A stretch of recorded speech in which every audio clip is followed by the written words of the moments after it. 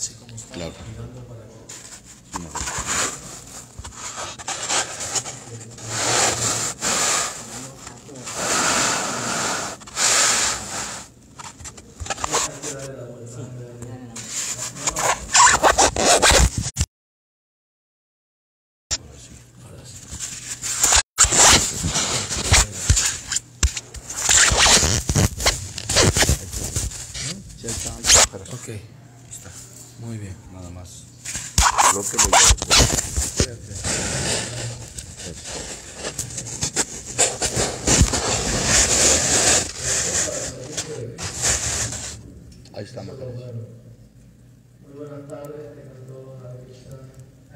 gracias por dedicar dentro a de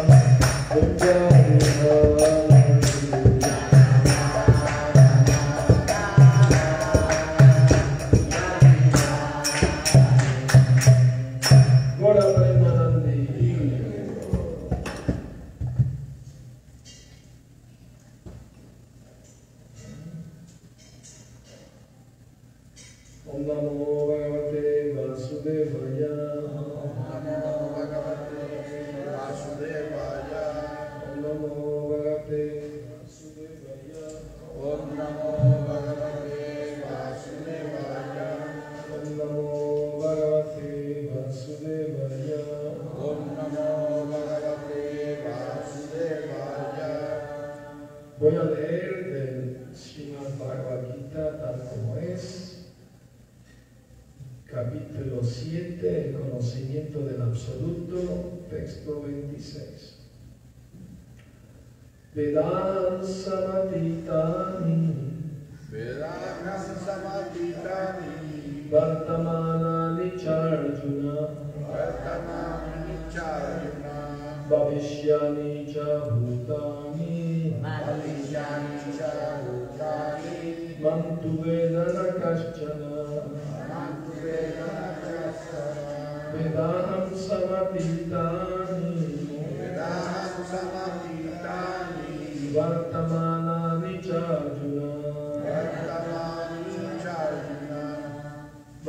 Shyami Jabuta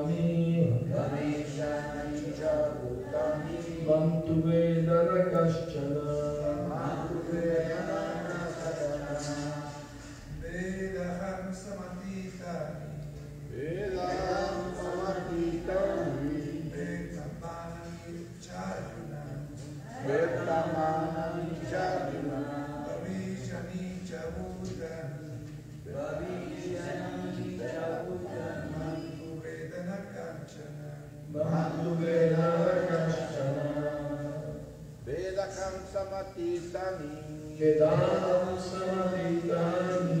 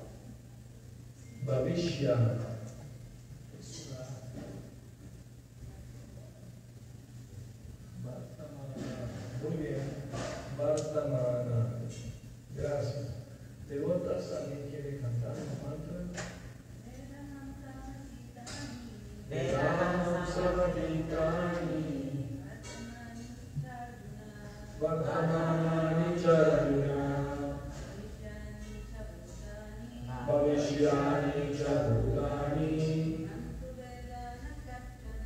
मन्तु वेद न कश्चन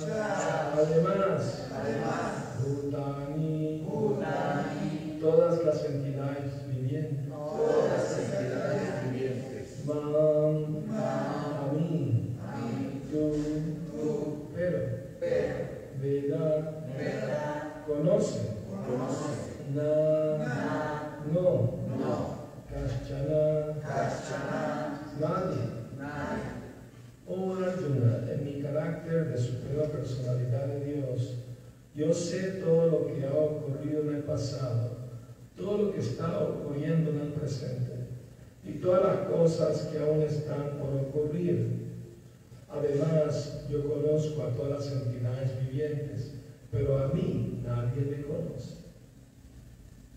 Significado, Aquí se presenta claramente la cuestión de la personalidad y la impersonalidad. Si Krishna, la forma de la suprema personalidad de Dios, fuera maya material, como lo consideran los impersonalistas, entonces él, al igual que la entidad viviente, cambiaría su cuerpo y olvidaría todo referente a su vida pasada todo aquel que tiene un cuerpo material no puede recordar su vida pasada, ni tampoco puede predecir su vida futura, ni el resultado de su vida actual. Por consiguiente, dicha persona no puede saber lo que ocurre en el pasado, en el presente o en el, y en el futuro. A menos que uno esté liberado de la contaminación material, no puede conocer el pasado, el presente y el futuro. A diferencia del ser humano ordinario, el Señor Krishna dice claramente que Él sabe muy bien lo que ocurre en el pasado, lo que está ocurriendo en el presente y lo que ocurrirá en el futuro. En el cuarto capítulo hemos visto que el Señor Krishna recuerda haber instruido a Vivasvan, el Dios del Sol, hace millones de años atrás. Krishna conoce a cada entidad viviente porque está situado en forma del alma suprema en el corazón de todo ser viviente. Pero a pesar de su presencia como la superalma en cada entidad viviente y de su presencia como la suprema personalidad de Dios, los poco inteligentes, aun si son capaces de comprender el Brahman impersonal, no pueden entender a Sri Krishna como la persona suprema. El trascendental cuerpo de Sri Krishna sin duda que no es perecedero. Él, él es tal como el sol y Maya es como una nube. En el mundo material podemos ver que existe el sol y que hay diferentes nubes y diferentes estrellas y planetas. Puede que las nubes cubran temporalmente todo eso en el cielo, pero esa cobertura es tal únicamente para nuestra limitada visión. En realidad el sol, la luna y las estrellas no son cubiertos. Asimismo, Maya no puede cubrir al Señor Supremo. En virtud de su potencia interna, Él no se les manifiesta a la clase de hombres poco inteligentes como se afirma en el tercer verso de este capítulo, de millones y millones de hombres, algunos tratan de volverse perfectos en esta forma de vida humana, y de miles y miles de esos hombres perfeccionados, difícilmente uno puede entender lo que es el Señor Krishna. E incluso si uno se perfecciona mediante la comprensión del Brahman impersonal, o de Paramatma localizado, aún así no puede entender en absoluto a la suprema personalidad de Dios, Sri Krishna, sin tener conciencia de Krishna. Om Ajnana Tirantasya Yadanjana Sanakaya Chaksharum Militantina Tasman Namaha Nací en la más oscura ignorancia, mi maestro espiritual, Shila Prabhupada, me abre los ojos con la antorcha del conocimiento. A él le ofrezco mis humildes y respetuosas reverencias. Entonces, Krishna está diciendo aquí que Él conoce todo. Todo y a todos. Él conoce todo lo que ha pasado en el pasado, todo, en el presente y en el futuro pero a él difícilmente alguien le conoce.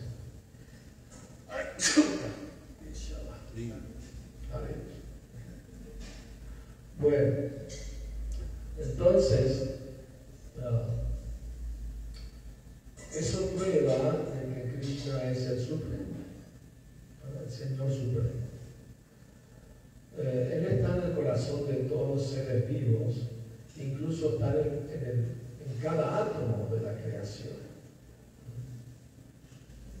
Entonces, al estar en cada átomo, en cada corazón de todo ser vivo, no hay cosa que Él no conozca.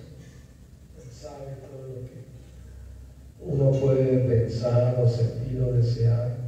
Y Él sabe el futuro también. El otro día, tiempo atrás, alguien me preguntó, bueno, si Krishna sabe lo que yo voy a hacer en el futuro, entonces ¿dónde está mi libre albedrío? O sea, ya, ya está destinado a que pase de esa manera. Entonces, ¿dónde está mi libertad de, de decirle, no, no, no, no te equivoques?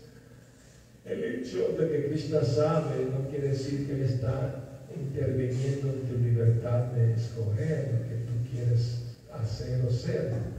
Él simplemente lo sabe. Pero es tu decisión eso.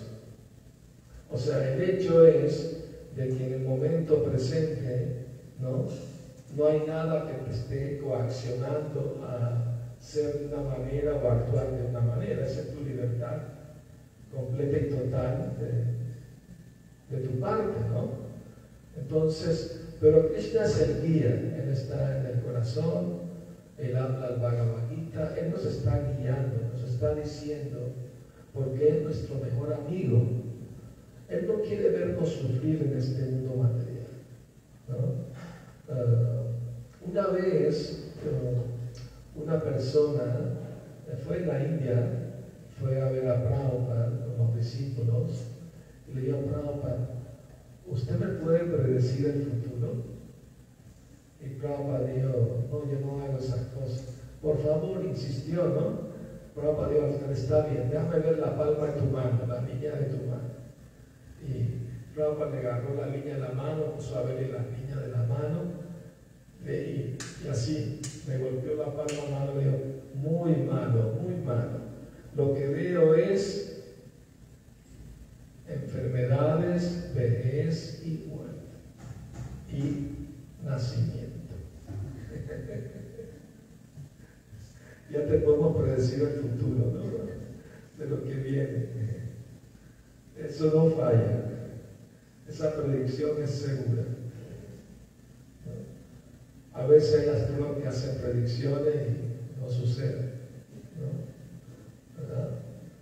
Pero es un hecho real que todo ser vivo en este mundo tiene que pasar por nacer, crecer, reproducirse, la, mayoría de los casos, eh, ir decayendo, ¿verdad?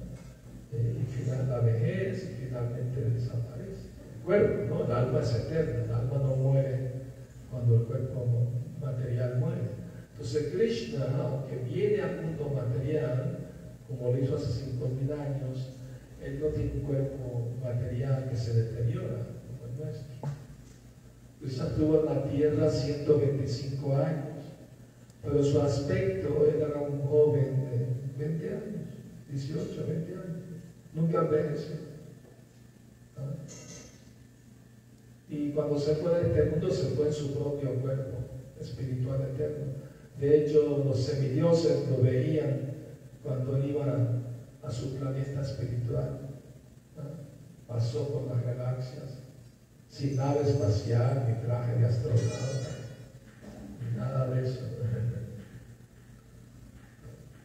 Está en los Vedas descrito, todos esos detalles. Entonces, los, la palabra impersonalista no es muy conocida en estos lados del mundo pero impersonalista se refiere a alguien que no acepta que Dios tiene una personalidad, o sea, que es una persona. Ellos creen que Dios es una energía sin forma, que cuando viene al mundo material asume una forma, pero esa forma es material. Y cuando se va, vuelve a ser una energía sin forma. Esa es su idea equivocada. Pero aquí Krishna dice muy claramente que Él conoce todo para siempre, no solamente por un tiempo. Eternamente Él sabe todo. Y si sabe, quiere decir que está vivo, que es, consciente, que es una persona, eternamente una persona, ilimitada. Parece difícil de entender cómo que cuando Krishna vino este mundo se veía como un ser humano, un tamaño, ¿no? Pero antes la gente era un poco más alta, digamos, ¿no? Dos metros y medio, quizás, así. Algunos tres. hace miles, hace más de cinco mil años. Pero digo, para los demás era como, ¿no? Uno de ellos. ¿ah? Eh, es como, supongamos que el, eh, el presidente del país va a la cárcel a visitar los presos, ¿no? Y si uno de los presos piensa, ah, mira, el presidente está en la cárcel, es un preso igual que nosotros. Pues está equivocado, ¿verdad? Porque él no está bajo la ley de la cárcel, él entra y sale cuando quiere.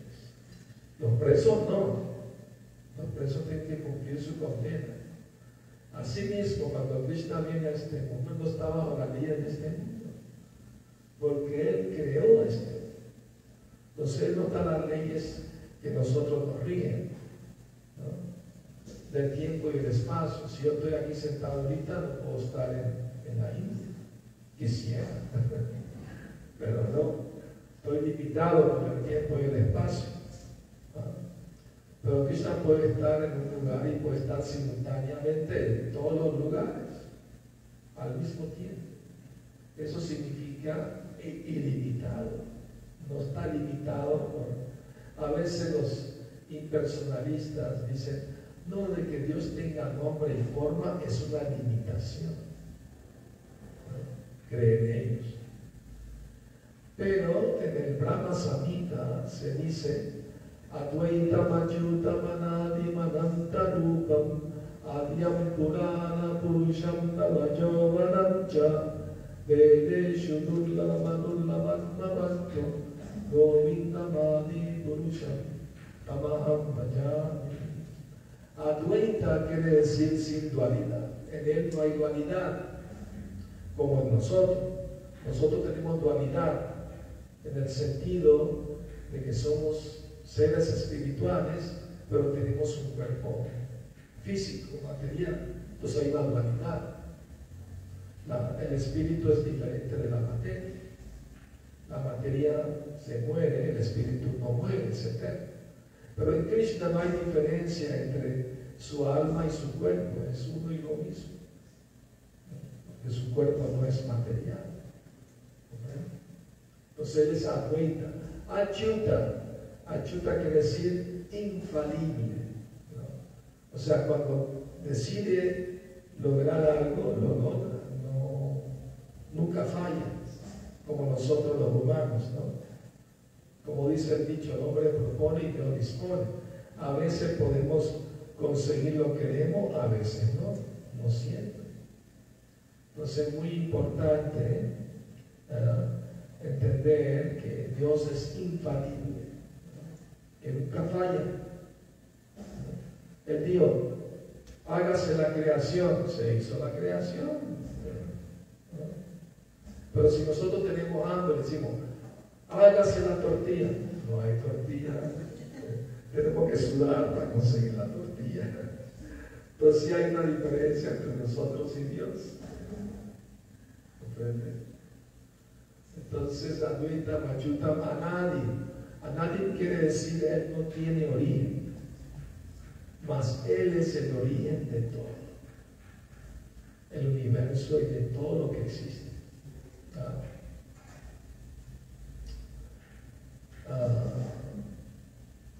A veces hay gente inocentemente pregunta, bueno, si Dios creó el mundo, ¿quién lo creó a Él? Ese es el asunto. Si alguien lo hubiera creado a Él, ese alguien sería Dios y no Él. O sea, Dios, todos tenemos papás, ¿verdad? Y nuestros papás tienen sus papás, y los papás tienen sus papás, así. Y cuando llegue al final de la línea, donde alguien no tiene papás, ese es Dios. O sea, nadie lo creó, en pocas palabras. Entonces, a nadie no tiene origen, es eterno. Escuché una vez una historia de un santo cristiano, se llamaba San Tomás Aquino. Él estaba caminando a la orilla del mar, caminando sobre la eternidad de Dios. San Agustín es. ¿Ah? San Agustín. ¿San Agustín era? Ah, bueno, gracias. San Agustín. Eh, y estaba pensando, entiendo que Dios no tiene fin, que va a existir siempre, pero lo que no entiendo es cómo es que nunca tuvo principio. O sea, que siempre existió. Eso es muy difícil para mí entender. Entonces vio un niñito que estaba jugando en la arena, abriendo un hueco en la arena, y le preguntó al niño, ¿qué haces, niño? Bueno, voy a meter todo el mar dentro de este hueco. Pero niño, el, mar es muy grande, no, no, va a caber en ese hueco. El niño, ah, ¿de veras? Sí. Ah, pero tú estás tratando de entender a Dios con tu pequeño cerebro. Y a veces se dice que Dios habla a través de los niños. Ah, Dios le estaba dando una, lección a, través de ese niño. Dios puso la palabra en la boca de mí.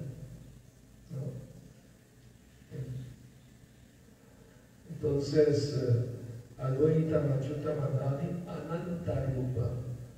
Ananta Rupa quiere decir formas ilimitadas. As- Hay tantos avatares de Krishna como olas hay en el mar, incontables. ¿Quién puede contar las olas del mar? Nada. Así mismo hay eh, avatares de Krishna. Avatar quiere decir que desciende del mundo espiritual al mundo material para, para una misión. O sea, Krishna viene personalmente o también manda sus enviados, ¿no? sus representantes, los devotos puros, como Jesucristo. Eh, y otros grandes santos, ¿no? Sila Prabhupada, o la asociación discipular. Ellos son enviados de Krishna para iluminar a los seres humanos que hemos olvidado la misión de la vida. ¿no? Jesucristo dijo, mi reino no es de este mundo. Pues lo crucificaron porque había dicho que era rey de los judíos. Pero él dijo que su reino no era de este mundo.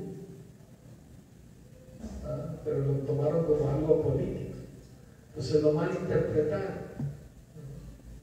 Lo juzgaron in- injustamente siendo una persona inocente. ¿Qué estaba haciendo? Solo estaba hablando de Dios. Tratando que la gente se vuelva devota de Dios.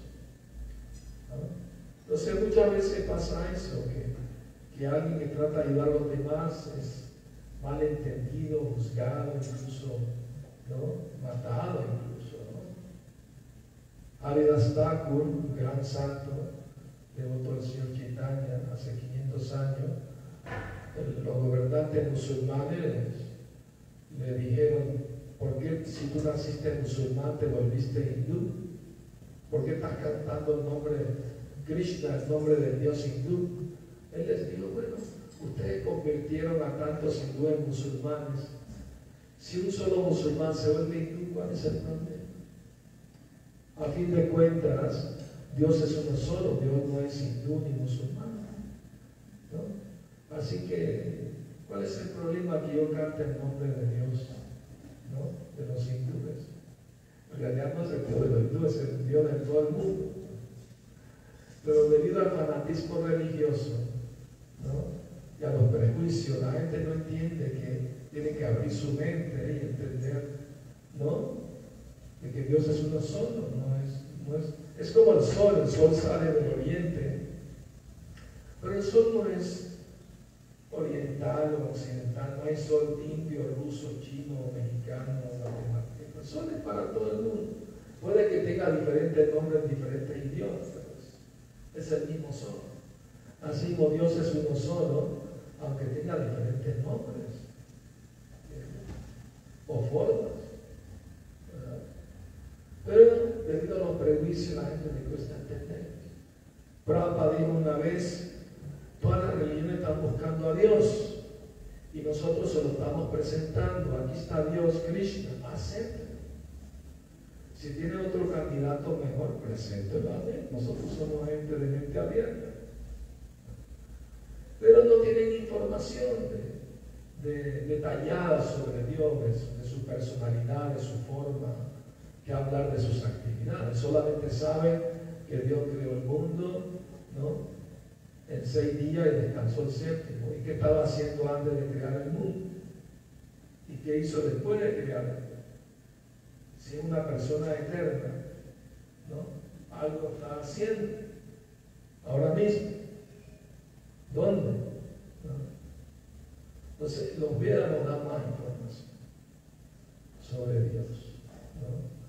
Sus actividades, su per- personalidad, sus cualidades, características, forma, ¿no? todo. Pero lamentablemente por prejuicio la gente no. Dice, no, eso no está mi religión. ¿Y qué importa? Si la información viene del Medio Oriente o del Lejano Oriente, es el Oriente aquí, ¿no? ¿Entiendes? Entonces ese es el punto. Adyam Purana Purusha. Adyam Purana Purusha quiere decir, él es la persona más antigua. Nada yo Vanamucha, pero siempre es joven y, y atractivo, eternamente. Krishna eternamente tiene 16 años. 16 años. Y Radharani eternamente 15 años. La pareja perfecta, adolescentes eternos, ¿no? en amor puro por uno por el otro, en la perfección del amor, ¿verdad? Pero en este mundo no existe un amor así, obviamente. Como los Beatles escribieron una canción, si me vas a seguir queriendo cuando tengas 64 años, si vas a seguir a mi lado o no, quién sabe, ¿no?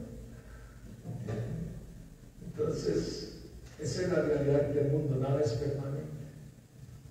Y como nada es permanente y la gente cambia ¿no? de, de pensamiento, de idea, la gente sufre. ¿no? Porque se apegan a una persona o a otra y después la persona los deja, entonces sufren. Pero si uno se apega a Krishna, nunca va a sufrir. Porque Krishna siempre le va a corresponder su. Siempre va a reciprocar sus sentimientos. Nunca le va a fallar. Prabhupada le va a las devotas. Si no consiguen un buen marido, acepten a Krishna como su esposo, el príncipe azul. Ese nunca le va a fallar. Si consiguen a alguien bueno, está bien, ¿no? Ojalá. Pero hoy en día, como están las cosas tan difíciles, ¿verdad? Encontrar una buena persona es difícil. No sabe por qué va a salir. Es como una caja de sorpresas. Si tiene buena suerte, bueno, le toca a alguien bueno, ¿no? Y que sea algo espiritual, por lo menos, ¿verdad? Entonces, Vedeshu Durlabam, solo por estudiar los Vedas no se le puede entender. O sea, si lo estudia de forma académica, eso no es suficiente. No es con el intelecto, es con la devoción.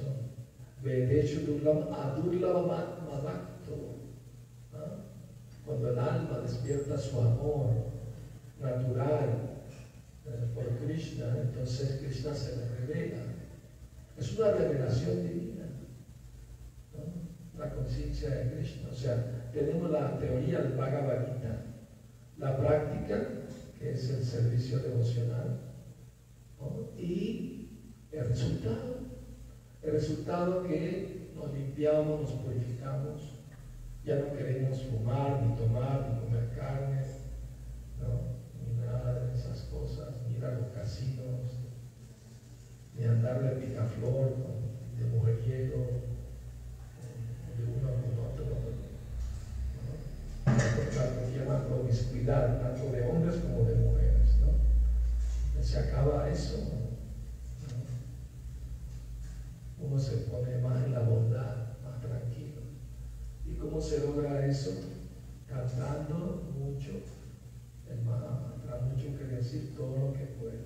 Nosotros tenemos un mínimo de dos horas, 16 vueltas diarias son como dos horas, dos horas y media de cantar el mantra.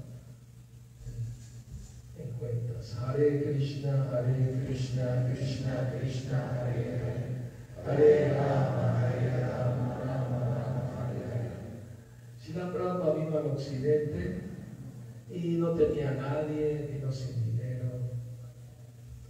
Y se paró bajo un árbol en un parque en Nueva York con sus címbalos y empezó a cantar Hare Krishna. Poco a poco la gente se acercó. Y así fue creciendo, sin nada. Un día estaba sentado en el parque solito. No tenía discípulos ni seguidores, nada. Y un señor americano se le sentó al lado y le buscó plática. Le dijo, usted es un monje de la India por su vestimenta, puedo ver, ¿verdad? Sí, sí, yo soy un monje de la India. Y tiene templos, tiene discípulos, alguna literatura impresa. Y Prabhupada dijo, sí, tenemos miles de discípulos, cientos de templos, millones de libros, solo el tiempo nos separa de él. Prabhupada tenía plena fe que la instrucción que le dio su maestro espiritual de, enseñar la conciencia de Krishna a la gente del mundo occidental iba a resultar, iba a tener éxito, porque tenía plena fe en el poder del santo nombre de Krishna. Tenía plena fe que por ponerlos a cantar a Krishna iban a poder dejar todos esos malos hábitos, todas esas malas costumbres, iban a ser devotos. Prabhupada tenía plena fe en eso. Y esa plena fe recibió un poder de Krishna. ¿no? Cuando Prabhupada viajaba incluso en los aeropuertos, gente comentaba, oh, este señor se ve muy brillante, tiene como una aura, ¿no? Brillante alrededor.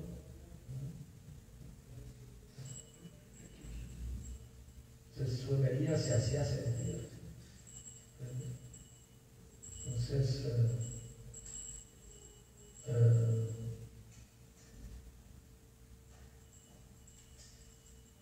o sea, es un hecho.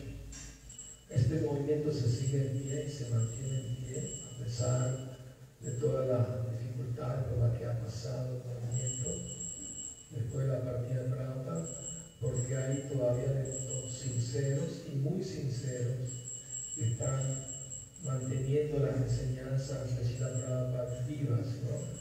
practicándolas y enseñándolas a los demás. Ese es el poder del Guru Parampara, de la sucesión discipular. Prabhupada quería eso, establecer una sucesión de maestros y discípulos. ¿no?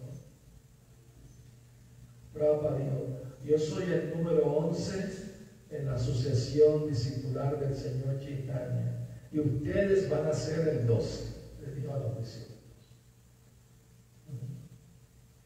Algunos fallaron, otros siguieron. Prabhupada sabía que algunos iban a fallar, pero él tenía fe que los más sinceros iban a seguir, se iban a mantener. Esa era su esperanza. Y vemos que un hecho, ¿no? En el movimiento de ISKCON hay muchos maestros muy, sinceros, genuinos, que siguen todo bien estrictamente como debe ser. Pero siempre hay gente malintencionada ¿no? que quiere criticar y buscar defectos donde no hay incluso. Si no hay, los inventan. ¿no? Entonces, no hay que dejarse influenciar por esa mentalidad. ¿no? Porque a lo mejor yo siento lástima por ellos. A lo mejor tuvieron mala experiencia, quizás, ¿no? Y se sienten mal, resentidos, pero cometen el error de buscar a todo el mundo por igual, ¿verdad? Ese es su error, porque perdieron la fe.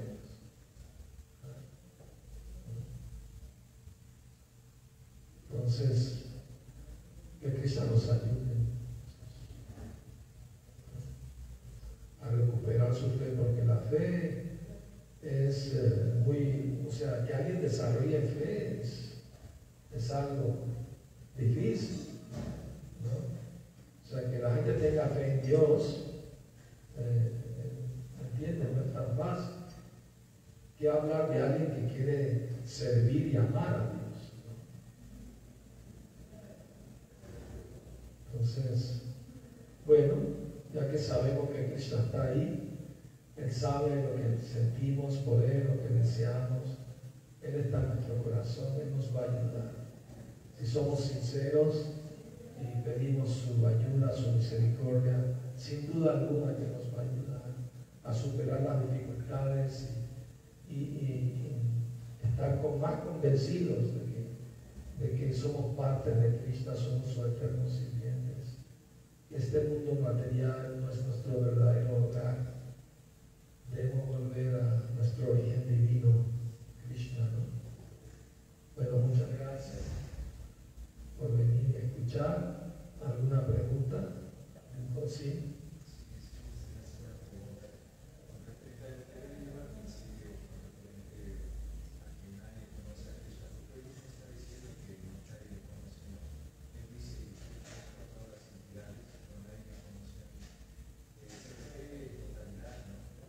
Supuesto, por supuesto. O sea, Krishna se revela a sí mismo en la medida que nos entregamos a Él. En el cielo hay mucho tipo de aves que vuelan. Hay aves que vuelan más alto que otras, pero todas están volando del mismo cielo. ¿Me explico? Asimismo, dependiendo del grado de avance espiritual de entrega, Krishna corresponde y Él se revela.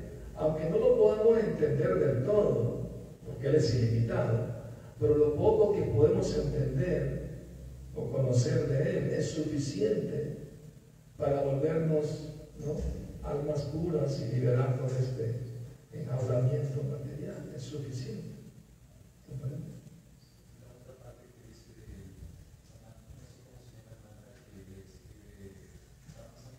Sí, Brahma Samhita.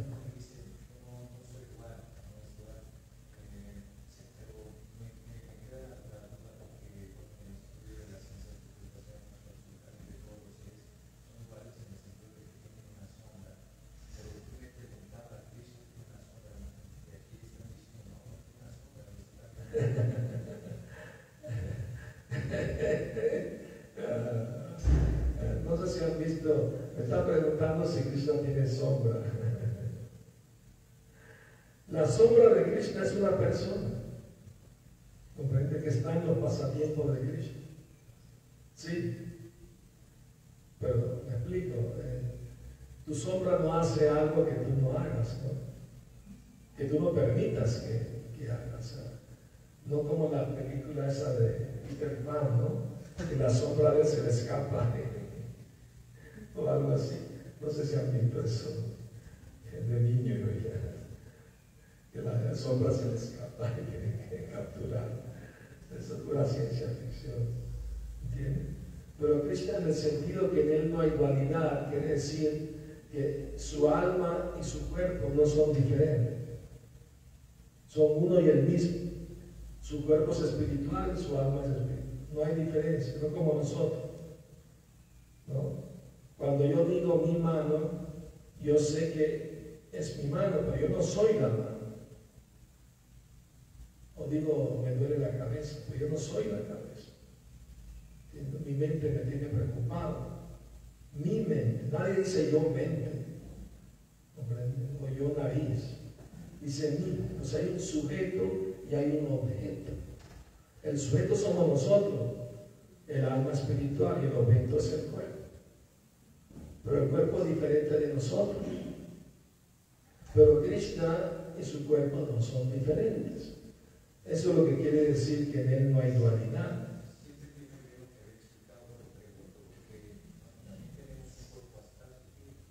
Sí, es un cuerpo sutil material.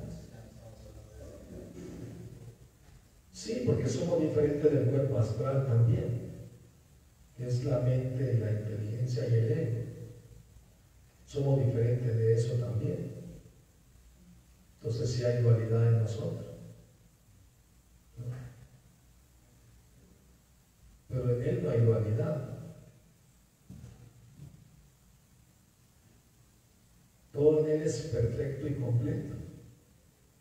Nosotros no somos perfectos, somos imperfectos e incompletos. Si estuviéramos completos nosotros mismos, no estaríamos ansiosos buscando la felicidad en, cosas, ¿no? ¿Entiendes?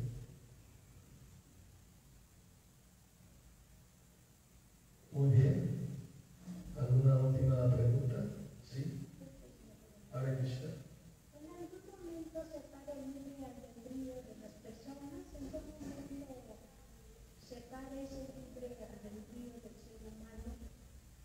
No, el albedrío, el libre albedrío siempre lo vamos a tener. La, la, opción de escoger entre Krishna y Maya siempre va a estar ahí. Es nuestra decisión. ¿no? Si olvidamos de Krishna y creemos que podemos ser felices sin Krishna, disfrutando de la vida material, esa es nuestra opción, ese es nuestro mal uso del libre albedrío. Y escoger ser felices con Krishna también es nuestra opción.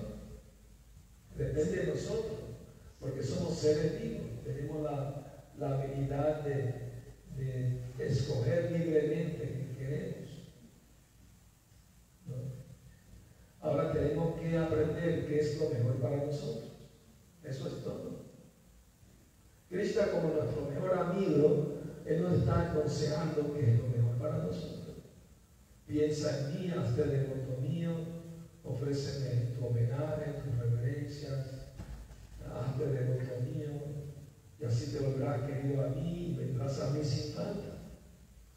Krishna no quiere vernos sufrir en este mundo de muerte y, y, sufrimiento. Krishna quiere vernos felices eternamente.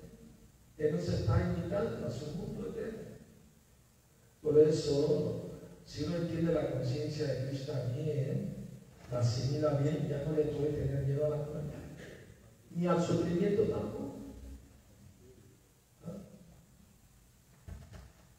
Una vez le preguntaron a Brahma, un reportero, maestro, ¿qué haría usted si ve que una bomba le viene encima? Y Brahma, bueno, ahí viene Krishna a llevarme con él. ¿Cuál es el problema? ¿Entiendes? Entonces, no debe tener miedo a morir, porque el cuerpo va a morir, no quiera o no, tarde o temprano. Lo importante es estar preparado mentalmente, pensando en Krishna, sabiendo que yo no soy este cuerpo, soy parte de Krishna, soy eterno siguiente de Krishna. Pues a qué tengo que tenerle miedo. Incluso si tengo que nacer otra vez, solamente le pido a Krishna que no me permita olvidarme de él. ¿no? Mi próxima vida pueda seguir consciente de Krishna. El éxito está asegurado para los nosotros. Porque si uno ejecuta un porcentaje de conciencia de Krishna, vamos a decir un 60%, en la próxima vida no tiene que empezar de cero. Empieza de 61 en adelante y cuando llega al 100% ya se va con Krishna. Así que el éxito está garantizado. Solo depende de nosotros cuántas vidas nos va a tomar. De que está seguro, está seguro. Porque es muy agradecido. Nunca olvida el más mínimo servicio que alguien le presta. Jamás. Si cualquier pequeño servicio, si uno lo ha hecho con sinceridad, Krishna nunca se va a olvidar de eso. Así que tengamos fe en Krishna. No, nunca nos va a abandonar. No nos lamentemos por el está destinado a sufrir y morir. Eso es inevitable. Pero nosotros no somos diferentes del cuerpo y de la mente también. La mente tiene que estar siendo vigilada y disciplinada si no se vuelve enemiga. Nos, nos, nos, hace entrar en pánico, ¿entiende? Y nos hace olvidar que somos seres eternos. Entonces hay que tener cuidado con la mente y, y tenerla vigilada y no dejarse llevar por, por sus caprichos o sus temores. Es un trabajo que hay que hacer todos los días. Y con disciplina se logra eso, cantando el Mahamantra, haciendo el esfuerzo ponerle atención al sonido divino de los nombres de Krishna, así nuestra mente se va limpiando, purificando y vamos liberando poco a poco del miedo a morir. Nos vamos a liberar de ese miedo. Una vez Prabhupada estaba caminando yo con él en el parque con los devotos en Venezuela y un devoto le dijo a Prabhupada, mi profesor en la universidad nos dijo que esa idea de que Dios existe la inventó el hombre porque le tiene miedo a la muerte. Era un ateo, obviamente, el profesor. Y Prabhupada le dijo, dígale a su profesor que si el problema es la muerte y por eso pensamos en Dios, entonces que Él resuelva el problema de la muerte y no nos preocuparemos más por Dios. Pero no nos pida dejar de pensar en Dios sin Él primero resolver el problema de la muerte. ¿Ah? ¿Acaso no le tiene miedo a la muerte? Si viene un ladrón a robarlo, a matarlo, va a decir, si matan no tengo, no, no, por favor, llévese todo, no me haga daño. Policía, auxilio. Pero son muy orgullosos de admitir que también tienen miedo a la muerte. ¿Y qué es la muerte? La muerte quiere decir un poder sobrenatural que ningún ser puede superar. Esa es la prueba de que no existe. ¿Comprende? Pues algo que tú no quieres, pero no tienes poder de evitar. Quiere decir que hay algo sobrenatural que nos está controlando. Creemos que somos libres de este mundo, pero no somos libres. Estamos bajo la ley de la naturaleza. Solo si nos entregamos a Krishna podemos superar esas leyes y alcanzar la vida eterna. Ese es el propósito del ser humano, buscar su felicidad eterna con Cristo. Sí. Hare Krishna.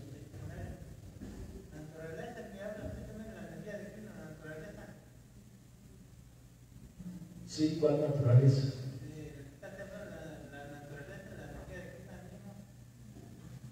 ¿Es una pregunta o una afirmación? Krishna es diferente y no es diferente de sus energías al mismo tiempo, simultáneamente. Es diferente en el sentido de que Él no depende de nada para ser feliz, Él es autosatisfecho en sí mismo. Y no es diferente en el sentido que todo emana de Él. ¿no? Entonces es diferente y no diferente al mismo tiempo, simultáneamente, inconcebiblemente. Esa es la filosofía del señor Chaitanya. ¿Cómo es el verso?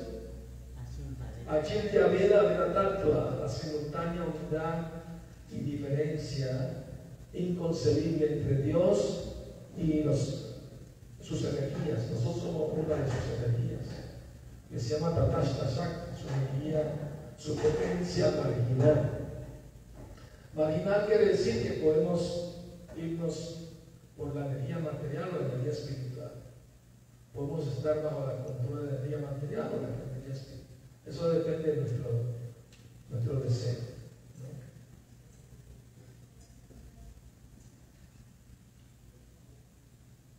Muy bien, muchas gracias pues, a todos por sus buenas preguntas. Hare Krishna, Shila Prabhupada, Gora Prema,